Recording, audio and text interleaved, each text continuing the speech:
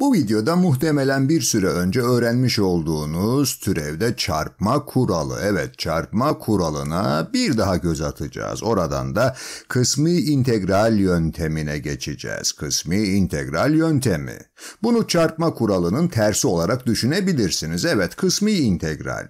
Diyelim ki elimizde iki fonksiyonun çarpımı olarak ifade edilebilen başka bir fonksiyon var. Bu fx çarpı gx olsun. Şimdi bunun türevini alalım. Türev operatörümüzü başa yerleştirelim. Evet d bölü dx şöyle köşeli parantezleri de yerleştirelim.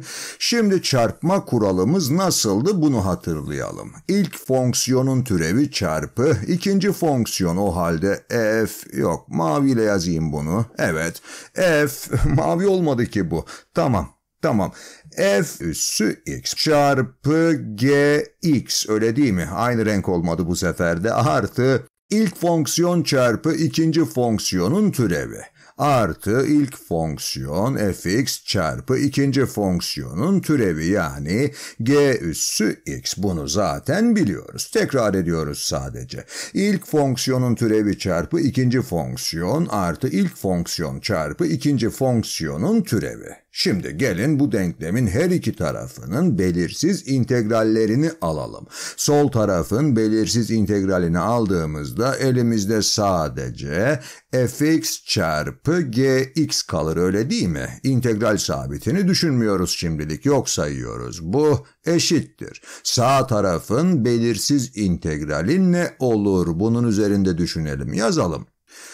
İntegral f üssü x çarpı gx dx evet artı integral fx çarpı g üssü x dx. Şimdi bu kısmı evet bunu yalnız bırakmak istersek bunun için bu kısmı denklemin her iki tarafından çıkartacağız. Bu terimi denklemin her iki tarafından çıkardığımızda fx çarpı gx eksi bu eksi integral f üssü x g x pembeyle yazmam lazım evet. G x. Dx buna eşit olur. Yani integral fx çarpı g üssü x dx'e eşit olur. Biraz daha anlaşılır olması açısından denklemin taraflarını değiştirelim. Şurayı kopyalayıp evet yapıştıralım. Kopyala yapıştır. İşte böyle seviyorum.